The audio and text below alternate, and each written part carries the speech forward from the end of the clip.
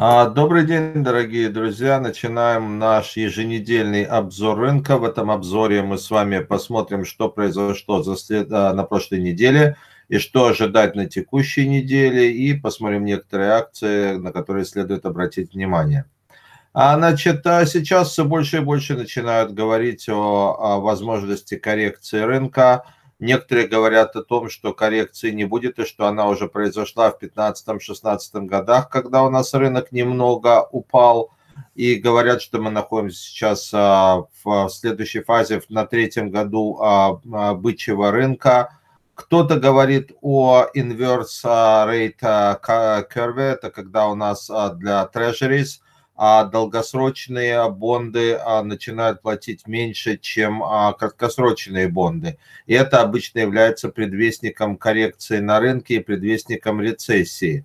Но многие также говорят, что это возможно случится не сейчас, а случится где-то 12-18 месяцев от текущего момента. И обычно в годы предшествующей рецессии рынок может подняться 20-30%. И сейчас многие уже говорят о том, что S&P 500 может у нас закрыть год в районе 3000, что ожидается end of the year rally, то есть ралли конца года.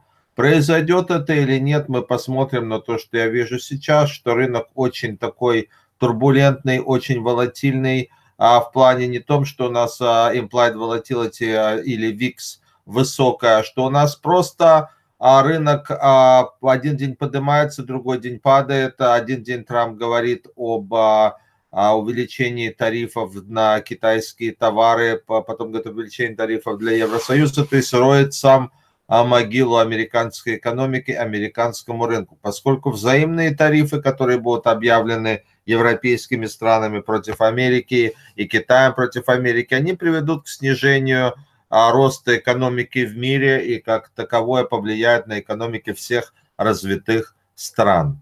Значит, а что касается прошлой недели, то у нас уже начали какие-то компании а, репортать. И на самом деле очень тяжело. То есть, с одной стороны, компании показывают неплохие результаты, с другой стороны, многие из них, показав эти хорошие результаты, начинают падать. Поэтому очень важно в этом рынке а, понимать динамику движения акций. Если мы торгуем внутри дня – как это я делаю очень часто в те месяца, когда у нас квартальные отчеты, очень нужно, важно понимать, где акция может открыться и куда она может пойти. К примеру, вот у нас была в пятницу компания VFC, которая у нас отрепортила неплохо, побила на 12 центов, побила по прибыли, побила по продажам, дала неплохой прогноз и понимаю, что компания, в принципе, дорогая, то, что она торговалась а не, немного не доходя 93 долларов, а торговалась там плюс 4 с небольшим процента на преопен, это вселяло надежду, что акция может сделать какое-то движение, там 2-3 доллара наверх от цены открытия, то есть открывшись там с гэпом а, плюс 3,70, могла еще 2-3 доллара пройти наверх, на что я надеялся, но я понимал, что это произойдет только при пробое 93 долларов. И акция пару раз пыталась 93 доллара пробить, и доходила не более чем до 93-50, я ставил на эту акцию стоп на пробой 93, и понимаете, 50 центов прибыли брать в такой акции, это слишком мало. Я надеялся на большее движение, на самом деле я в ней просто отдал эти 50 центов обратно, ничего не заработал в этой акции, как бы вычеркнул ее из своего списка для торговли на отчетах на будущие периоды, поскольку VFC это ну, вот такая компания, которая не дает заработать. Другой интересный квартальный отчет был от компании SKX, которая на самом деле вот а, неплохая компания, компания, производящая Skechers, обувь Skechers у нас по большому счету является вторым а, производителем обуви после Nike сейчас, причем она выпускает как спортивную, так и casual обувь. И поэтому вот компания SKX, а, плохой квартальный отчет застал многих инвесторов врасплох – и как результат компания, которая торговалась 33.25, открылась по 24.14. Мы это можем видеть, открыв historical data и посмотрев, где эта акция у нас открылась. Да, открылась 24.11. То есть открылась она практически на 9 долларов ниже уровня своего закрытия в, а, в предыдущий день. 24.11, да, это более чем 9 долларов. Понимаю, что ну, это слишком большое как бы открытие, ну, слишком большой гэп вниз для такой компании, не, причем новости не сильно плохие, то есть ожидаемый результат был ниже, чем прогнозируемого на где-то 12-13, там, может, на 20 центов, то есть не такой большой негативный сюрприз. И как бы это падение было понятно, что оно слишком как бы выражено, то есть понятно было, что на этом падении – а инвесторы хотят собрать выброшенные на рынок дешевые акции по хорошей цене. И как бы продолжив небольшой, дав небольшой импульс вниз до 23.80, акция подлетела вверх более 2 долларов от цены своего открытия. Я сам ее покупал на пробой 25 долларов, поскольку считал, что это будет действительно показателем движения акций наверх, поскольку очень часто в таких ситуациях акция идет до 25 долларов, потом а там чуть-чуть делает ложный пробой, и потом начинает падать и закрывает свой день в нижней точке. Но многие аналитики считают, что компания SKX дала уникальную возможность инвесторам купить хорошую компанию по дешевой цене. Поэтому многие считают, что это было временным явлением, этот плохой квартальный отчет, и, соответственно, нужно было акцию покупать. Также вот хочу обратить внимание на квартальный отчет компании GTLS, который у нас отрепортала ранее на прошлой неделе, то ли в среду, то ли во вторник – если мне память не изменяет, эта компания, если мы с вами посмотрим, а, сделала очень неплохое движение, закрывшись по 68 долларов за день до выхода отчета. Через два дня, то есть она была 77-66, то есть на 9 а, долларов 66 а, центов она была выше после выхода отчета. Поднявшись с 71-75, то есть дала практически 6 долларов движения в день выхода отчета и поднялась аж до 80 долларов, еще 3 доллара поднялась после уже выхода отчета, но потом уже на таком вялом а, пятничном рынке акция опустила до 76-88, но все равно, как бы, я думаю, она продолжит свое движение наверх. Напоминаю, что пятница это у нас была экспирация, месячная экспирация опционов, и поэтому многие акции, активность в них была, а, скажем так, вызвана попыткой не дать акциям пойти выше какой-то цены, чтобы собрать вот те премиумы, которые покупатели опционов заплатили за колы. И, соответственно, вот это двигало вот рынком а, в пятницу. Пару акций, на которые я хочу обратить ваше внимание. А еще в пятницу у нас поднялись почему-то акции банков и опустились акции хомбилдеров. Значит, хомбилдера, это, конечно, это два сектора, которые идут в противоположном направлении в зависимости от а, роста а, процента.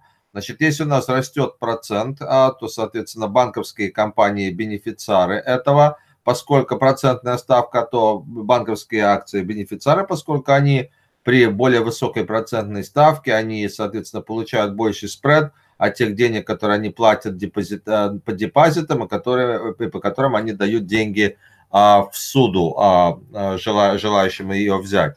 И, соответственно, банковский сектор является бенефициаром подъема процентной ставки, а, а хомбилдеры, в то время как, а, скажем, поднимается процентная ставка, то есть процент по ипотеке тоже начинает расти, и, соответственно, меньше желающих покупать дома при а, росте процента. И поэтому у нас компании хомбилдера, такие как MTH, такие как KBH, здорово ну не то что здорово, но падали, причем они эту динамику уже демонстрируют не первый раз. Вот у нас MTH упал на 3%, KBH, наверное, упал чуть меньше. И поэтому вот, а, скажем так, вот такая у нас сейчас ситуация. Значит, чтобы немного разобраться, а, чтобы немного разобраться сейчас нам вот в этой ситуации по процентной ставке, значит, скажу вам, что сейчас у нас процентная ставка по десятилетним государственным облигациям составляет 2,9%, а yield, который у нас платят, извините, сейчас чуть-чуть, а я обзор сейчас веду. А, а yield, который у нас платят акции S&P сейчас составляет 4,6%. Значит, а поэтому я вам скажу, что сейчас у нас а, ситуация, что все равно покупают больше акций, поскольку, чтобы это выровнялись эти два вот показателя с 2,9 до 4,6, то, скорее всего, это не произойдет.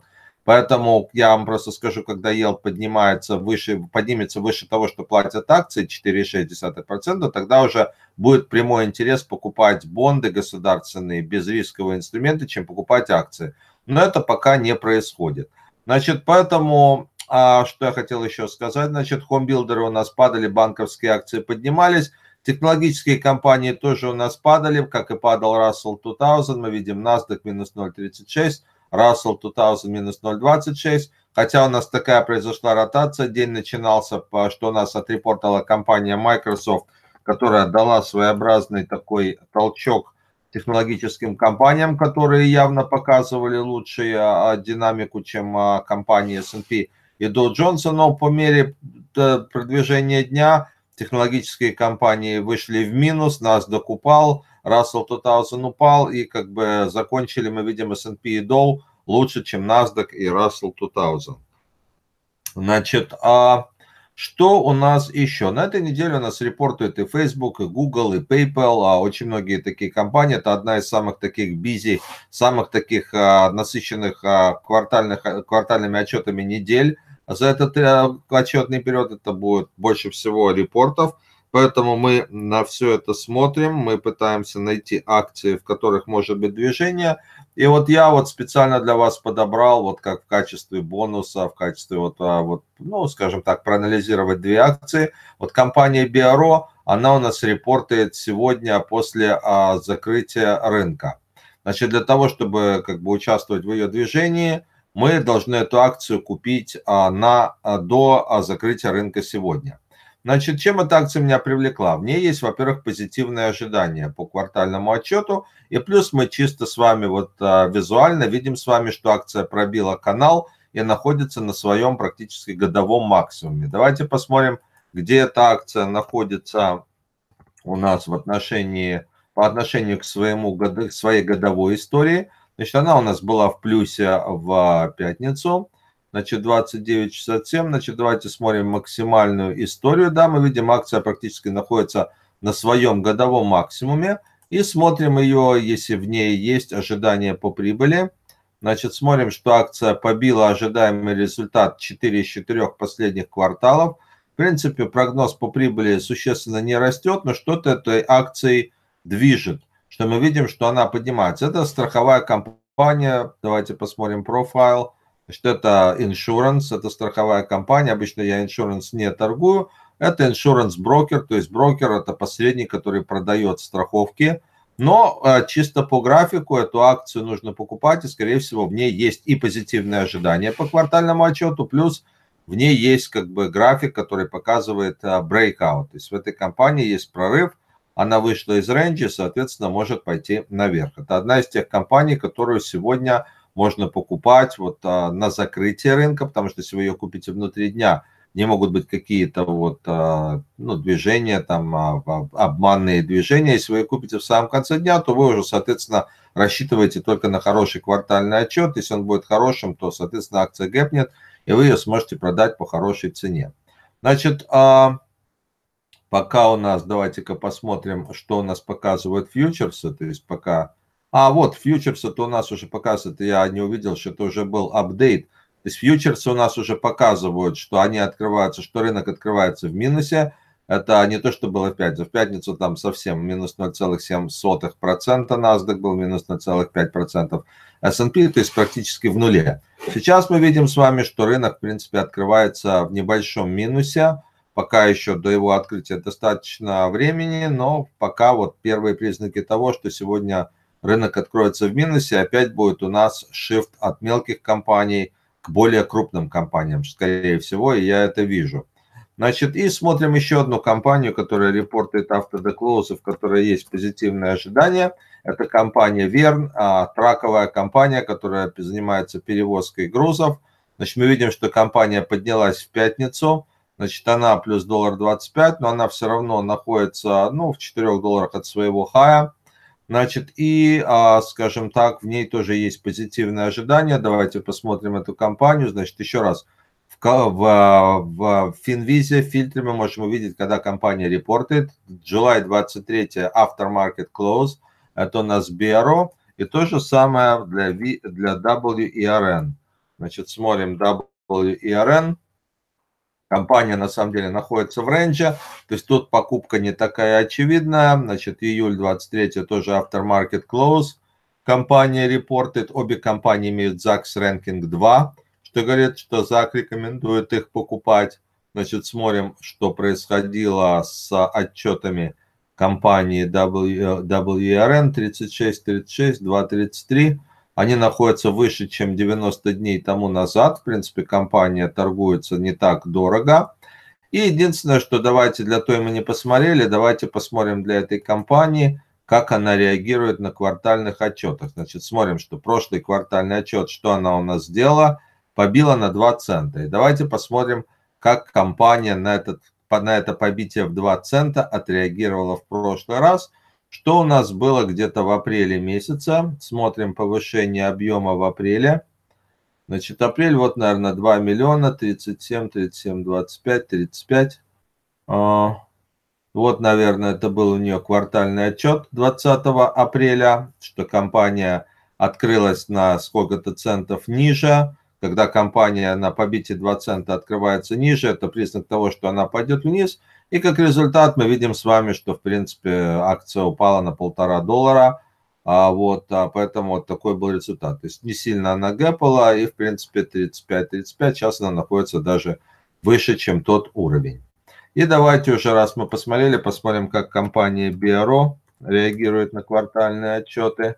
Значит, Биаро мы с вами видели, что компания побила немного, но побила все четыре квартала, что мы видим а, у нас в аналитике.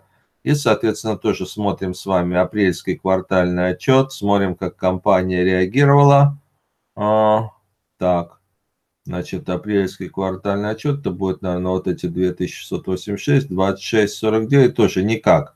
То есть, понимаете, вот видя такую вещь, ну, я понимаю, что просто эту компанию нет смысла покупать, потому что никакого гэпа на квартальном отчете практически не будет. Что это акция, которая просто движется сама по себе, движется потихонечку, вот такими мелкими шажками. Она вот за это время на 3 доллара поднялась с момента прошлого квартала. И, соответственно, эту компанию нет смысла никакого покупать вот, а, и держать ее в ожидании квартального отчета, потому что ничего такого особенного не будет. Просто эту акцию можно купить в средний срок, поскольку она нарисовала, как я уже показывал, хороший пробой, просто держать ее какое-то время. Значит, э, в принципе, на сегодня это у меня все. А, пару акций еще хотел я вам показать. А, хотел показать пару медицинских компаний, которые я тоже рекомендую к покупке. Это компания MEDP.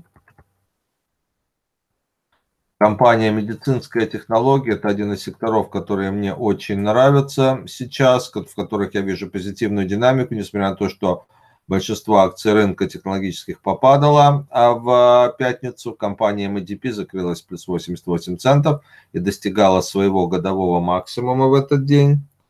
Также из этого сектора хочу обратить внимание на компанию NVCR – это израильская, по-моему, компания, тоже из сектора медицинской технологии. Значит, э, тоже компания находится близко к своему годовому максимуму 37.99, то есть ее можно покупать на пробой 38 долларов. А, в принципе, на сегодня у меня все. А всем удачного дня. Какие-то вопросы, пожалуйста, пишите. Прямо можете писать в YouTube, задавать вопросы. Я с удовольствием отвечу. Всего хорошего. До новых встреч. До свидания.